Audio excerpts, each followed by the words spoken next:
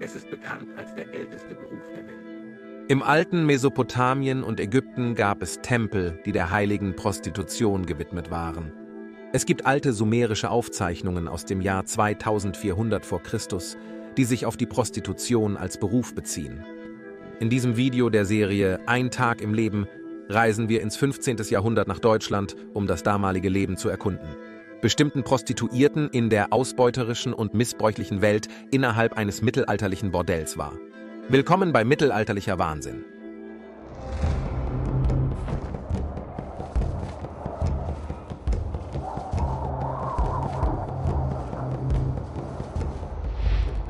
Ein notwendiges Übel.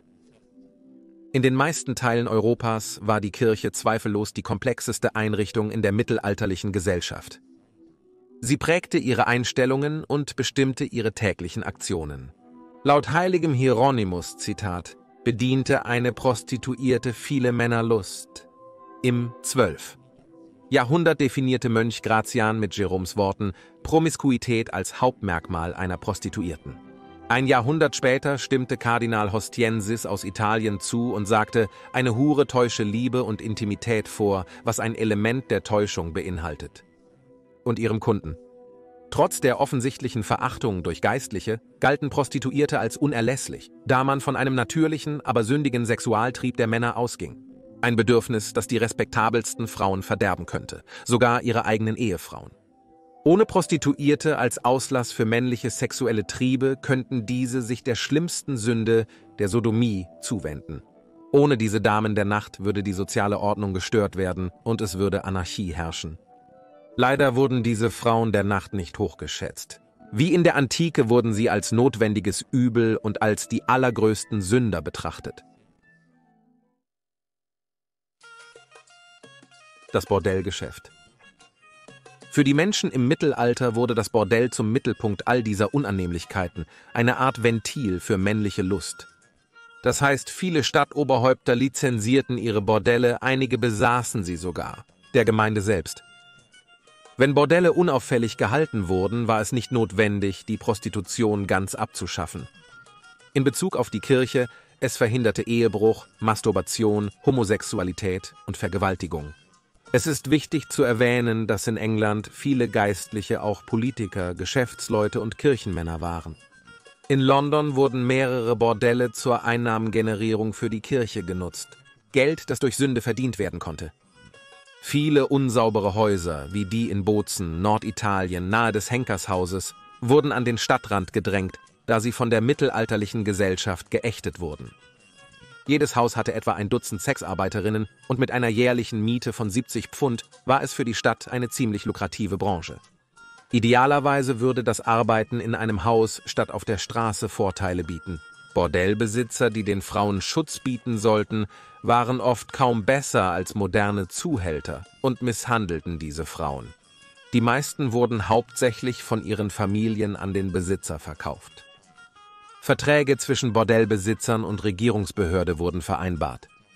Die Besitzer mussten Loyalitäts- und Gehorsamseide leisten. Es gab Regeln gegen Trunkenheit und Blasphemie im Bordell sowie Richtlinien zur Regelung der Beziehung zwischen Prostituierten und ihrem Zuhälter. In einigen Städten wie Wien mussten die Halterinnen weiblich sein. Sexausbeutung Ende des 15. Jahrhunderts arbeitete Els von Estet in einem Bordell in Nordlingen, Deutschland. Zunächst wurde sie als Küchenmagd angestellt. Vermutlich zwangen sie Bordellbesitzer Leinhard Freimont und sein Partner, ihren Körper für Geld zu verkaufen. Barbara Taschenfieden. Els wurde von einem ihrer Kunden schwanger. Barbara braute einen Trank aus Immergrün, wilder Karotte, Nelken und Wein, um eine Abtreibung zu veranlassen, nachdem sie davon erfuhr. Dann zwang sie Els, den Trank zu trinken.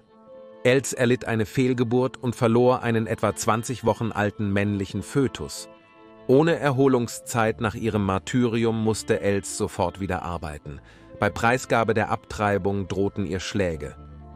Babel aus Esslingen, eine Kollegin Prostituierte, sah das Kind auf einer Bank in Els Zimmer. Sie brachte ihrer vor Schmerzen im Bett liegenden Freundin einen Eimer Wasser. Nachdem Babel den anderen Frauen erzählte, was sie gesehen hatte, schickten Leinhard und Barbara sie in ein anderes Bordell in Ulm. Aber es war zu spät. Bordellkunden wurden misstrauisch, als sie bemerkten, dass die einst große Els nun klein war. Nachdem der Rat Gerüchte hörte, entschied er, zwei Beamte in ein Bordell zu schicken. Sie teilten dem Bordellbesitzer und seinem Partner mit, dass die höheren Ratsmitglieder informiert waren und eine Untersuchung bald starten würde. Nachdem die Männer gegangen waren, stürmte ein wütender Leinhardt zu Els und den anderen Frauen und prügelte heftig auf Els ein. Trotz Einschüchterungsversuchen sagte sie mutig zu Leinhardt, dass selbst das Abhacken ihrer Arme und Beine sie nicht am Zeugnis gegen ihn hindern würde. Leinhardt und Barbara erkannten später, dass das Spiel vorbei war und beschlossen, eine Vereinbarung mit Els zu versuchen. Wenn sie zustimmte, still zu sein, würden sie ihre Schulden begleichen und sie könnte das Bordell am nächsten Tag verlassen. Els stimmte zu und Barbara schmuggelte sie leise hinaus, als es Zeit zum Gehen war. Sie fragte andere Frauen nach Els und spielte, als würde sie das Bordell nach ihr durchsuchen. Els hatte jedoch bereits der Prostituierten Margret von Beibrach alles über den Plan erzählt. Die Untersuchung. Und so begann die Untersuchung. Der erste Teil bezog sich nur auf die vermeinte Abtreibung. Im Mittelalter glaubte man, dass ein Fötus eine Seele erlangt, sobald er einem Menschen ähnelt. Deshalb galt eine Spätabtreibung als schweres Vergehen. Els stand nie unter Verdacht, ihr Baby abgetrieben zu haben. Sie offenbarte, dass sie nach Weißenberg ging, als sie ihr Bordell in Nordling verließ. Zwei Zeugen, Margaret und Anna von Ulm, bestätigten ihre Aussage und erzählten, wie Els untröstlich um den Verlust ihres Babys weinte und sagte, dass Barbara, Zitat, ihr Kind von ihr genommen und ihr Fleisch und Blut getötet hat. Der zweite Teil der Studie untersuchte allgemein die Arbeitsbedingungen im öffentlichen Bordell und ob Bordellbesitzer Leinhardt seinen Eid, den er 1469 bei Arbeitsbeginn ablegte, gebrochen hatte. Nun traten fast alle Frauen vor, um über ihre grausame Behandlung zu sprechen. Die Untersuchung zeigte, dass Lionheart viele oft mit Stock, Gürtel oder Bullenpeitsche schlug, wenn sie einen Kunden ablehnten. Als Anna im Bordell ankam, sagte sie, allen Frauen sei die Kleidung weggenommen worden, so dass sie, Zitat, elend und beinahe nackt herumlaufen musste. Els stimmte zu, sie musste für ihren eigenen Rock zahlen. Die Frauen waren von Anfang an verschuldet. Sie mussten für ihr Zimmer und Essen bezahlen und ein Drittel ihres Verdienstes abgeben. Sie mussten Sex haben, selbst während ihrer Periode, die sie als weibliche Krankheit bezeichneten, und an Feiertagen, was laut Stadtvertrag illegal war. Ein weiteres Gesetz verlangte zusätzliches Essen für Frauen während ihrer Periode. Sie wurden tatsächlich täglich mit ekelhaftem Futter versorgt, was nicht eingehalten wurde. Sie wurden für ihre Mahlzeiten, Wein und alle Bedürfnisse überhöht berechnet, was zu ständiger Verschuldung führte. Leinhardt berechnete Kunden ein Schlafgeld für Übernachtungen.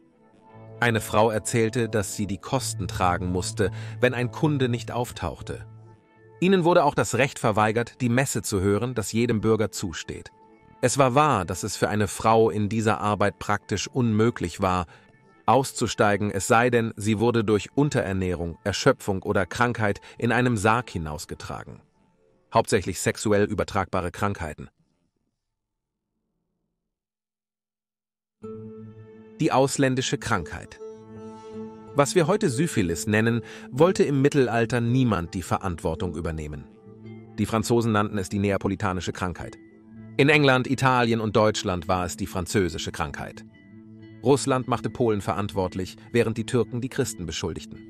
Aber unweigerlich gab die Kirche den Frauen die Schuld, denn alle Übel der Welt konnten auf Evas Vergehen im Garten Eden zurückgeführt werden, die Ursünde.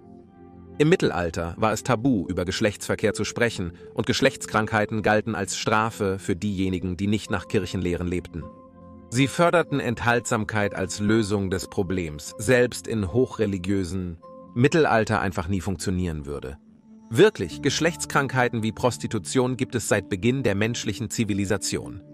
Es gibt viele Hinweise auf Geschlechtskrankheiten in der Antike, Erotische Bilder von infizierten Genitalien sind auf Tonplatten aus Mesopotamien und ägyptischen Papyri von 1550 v. Chr. zu sehen.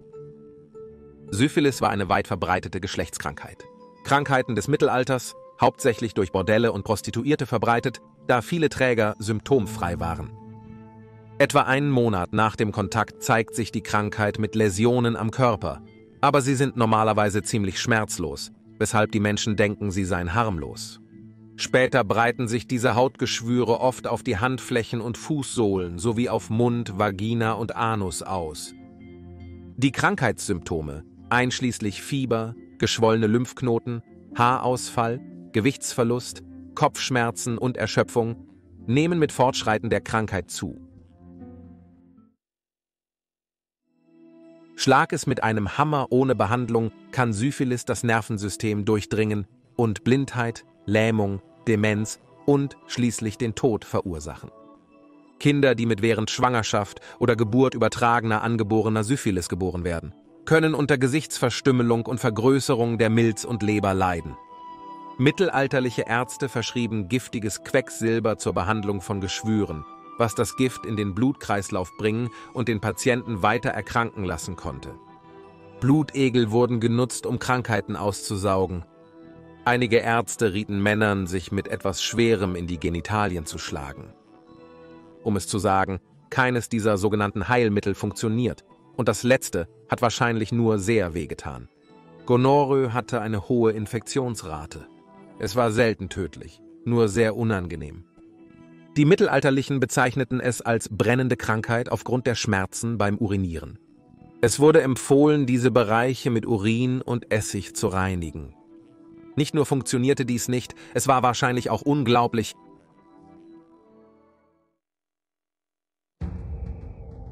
Ungesehen.